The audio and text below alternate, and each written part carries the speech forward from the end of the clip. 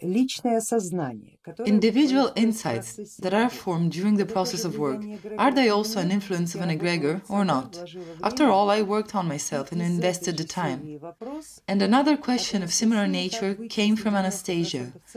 What should one do if 90% of the goals are coming from a source that is not associated with people but rather with the visions and dreams, as it was mentioned earlier?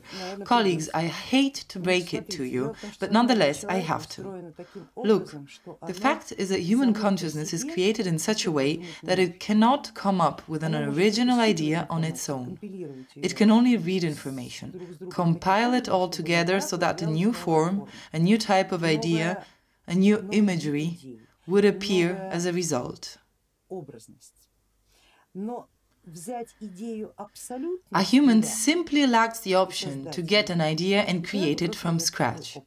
When we perceive information from somewhere, we always read it off exactly from the location where it exists, that is, from a particular source.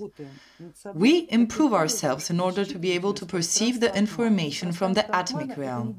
But the atmic realm is not something undefined, but a conglomerate of the consciousnesses of all gods, their thoughts to be precise. The human thoughts and words reside in the mental plane, while gods, they have the Atman. And we are trying to evolve our consciousness to the degree that will help us avoid taking information from the mental plane, the goal-setting field, or from the Buddhic plane, where the egregorial world tries to convince us that it will give us the correct information packed up into a ready-to-go ideology. Instead, we try to take it directly from the Atman, take the raw thought forms of the gods thus as if becoming an egregore in relation to these thoughts. I repeat, in relation to these thoughts, not in general, not in terms of functionality in this world. Although it will be possible to become so in terms of functionality, but this would rather be a form, a consequence of such ability.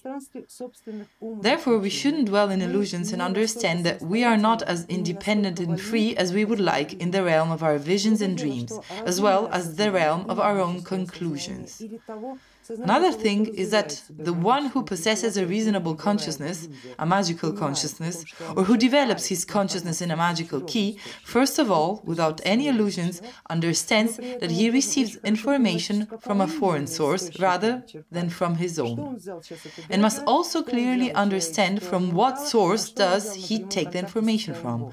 What did he take from the egregore, what did he take from the mental plane, and what was obtained through the direct contact with his own God, and how it could be combined in a way for that God's idea to take the right form, the correct form, and not the way it usually happens.